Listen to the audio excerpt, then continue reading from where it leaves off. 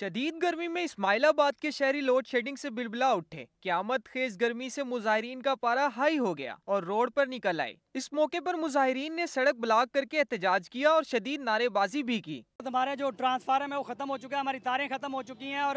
approval بھی ہو چکی ہے اس کے آ بھی چکا لیکن وہ لگایا لگایا نہیں جا رہا کی کی ہے ہے ہمارا ہمارا یہی کہ پہ جائے